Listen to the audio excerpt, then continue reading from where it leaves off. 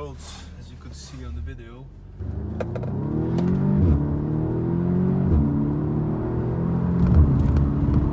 The camera keeps on falling off, so yeah,